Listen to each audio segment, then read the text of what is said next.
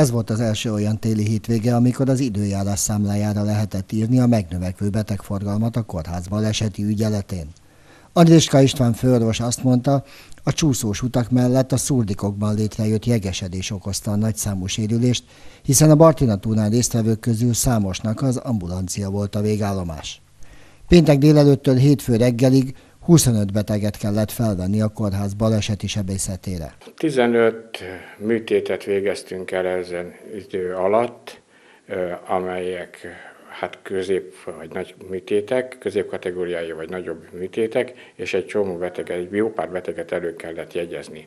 A szombati napon 78 beteg volt az ambulancián, plusz embert kellett behívni, hogy két helységben lehessen rendelni, illetve nem rendelni, hanem akut betegellátást végezni. Sorozatborda, boka, csukló és váltörések voltak a jellemzőek.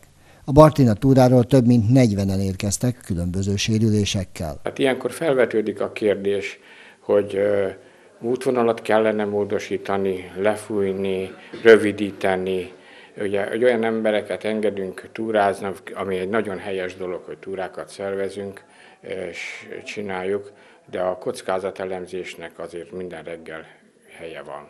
A túra után sem változik a helyzet. A reggeli időjárás folyamatosan csúszós utakat és lépcsőket alakít ki. Ennek megfelelően fokozott elővigyázatosságra hívja fel a kórház mindenki figyelmét.